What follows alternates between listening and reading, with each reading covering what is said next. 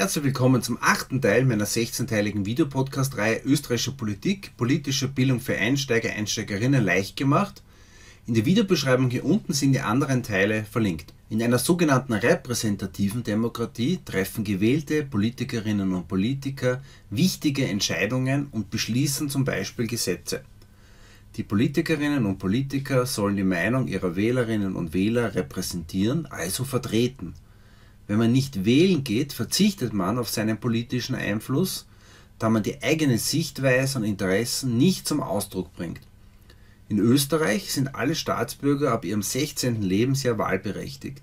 Sie können an verschiedenen Wahlen, wie zum Beispiel der Gemeinderatswahl, Landtagswahl, Europawahlen und der Nationalratswahl teilnehmen. Hier siehst du das Ergebnis der Nationalratswahlen von 2019.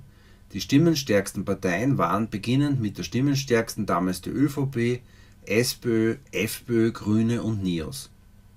Einfache Gesetze werden mit einfacher Mehrheit, also von mehr als der Hälfte der Stimmen der Abgeordneten beschlossen. Da Verfassungsgesetze besonders wichtig sind, müssen diese von mindestens zwei Drittel der Stimmen der Abgeordneten beschlossen werden, damit diese gültig werden können.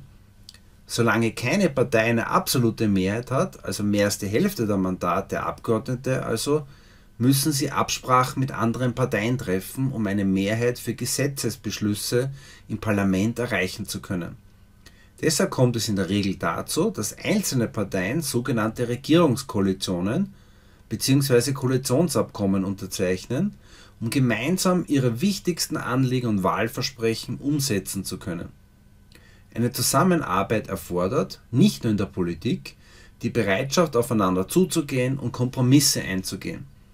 Diese Absprachen führen häufig, nicht immer wie zum Beispiel die Regierung von Wolfgang Schüssel im Jahr 2000 dazu, dass die stimmenstärkste Partei den Bundeskanzler stellt. Insgesamt gibt es im österreichischen Nationalrat 183 Abgeordnete bzw. Mandate.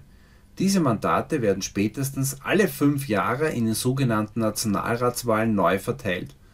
Bei der Nationalratswahl haben die stimmberechtigten österreichischen Bürger die Möglichkeit, einer Partei ihre Stimme zu geben. Wählerinnen und Wähler haben auch die Möglichkeit, einem oder einer bestimmten Politikerin oder Politiker eine sogenannte Vorzugsstimme zu geben. Wenn einzelne Politikerinnen und Politiker besonders viele Vorzugsstimmen erhalten, werden sie gegenüber anderen ihrer Partei bevorzugt in das Parlament entsendet. Man spricht von einer Vorreihung. Aufgrund der Ergebnisse der Nationalratswahl erhalten die Parteien bzw. deren Politikerinnen und Politiker eine bestimmte Anzahl an Abgeordnetensitzen bzw. Mandaten im Parlament. Je mehr Abgeordnete Mandate eine Partei hat, umso eher kann diese Einfluss auf das politische Geschehen in Österreich nehmen. Danke für deine Aufmerksamkeit wir sehen uns sicherlich gleich wieder im neunten Video mit dem Titel Wer vertritt die Interessen der österreichischen Bundesländer? Der Bundesrat.